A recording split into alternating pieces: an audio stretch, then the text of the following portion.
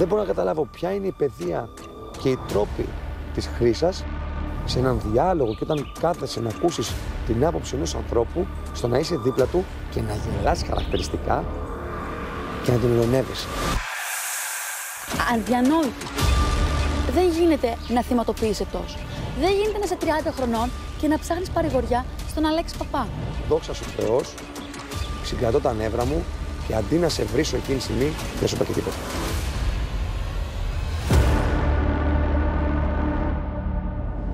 Όταν νικάμε όλα καλά, όταν χάνουμε αρχίζουν να βγαίνουν προβλήματα. Που ποια είναι τα προβλήματα, είναι ο Τζέιν.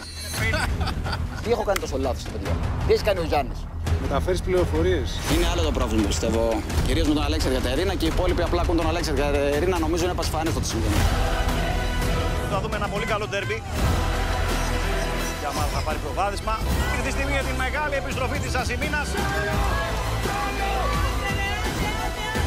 Οι έχουν πάρει φωτιά.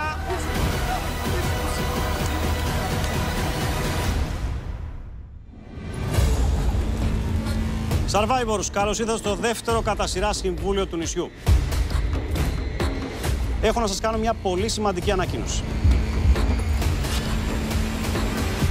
Πήραμε λοιπόν την απόφαση να προσθεθούν δύο παίκτες.